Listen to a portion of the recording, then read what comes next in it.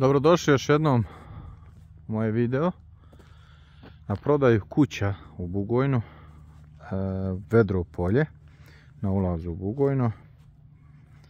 Ova kuća je sad na prodaju na svom placu, bez zemljišta iza i bez štale. Pored će biti put i bit će još placeva na prodaju. E, sve u toku parcelacije. Znači ulaz će biti ovdje. Ova dva će se srušiti. Znači tu će ulaz biti za placeve iza kuće.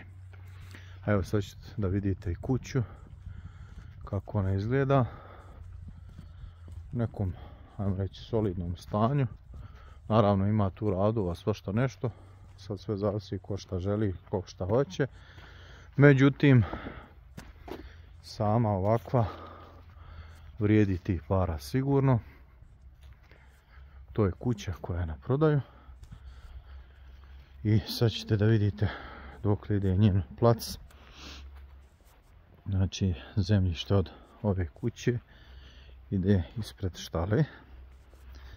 Evo znači ovo je to što se kupuje uz kuću. I ide evo ovako otprilike do ovdje.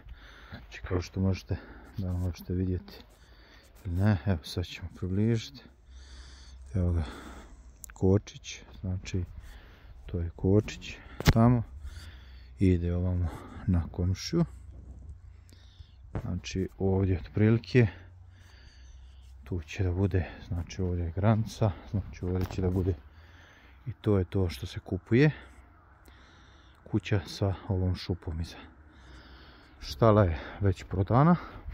Plac iza štale je prodan. A ovo u produžetku dole su placevi koji su također na prodaju. Od 420 metara kvadratnih do 700 metara kvadratnih. Kao što vidite veoma, veoma lijepo parcela. 100% ravno. Placevi su već označeni. Evo vidite. Tu su kočići postavljene. Kao što možete vidjeti. Put je širine 4 metra. Skroz ide dole do drveća.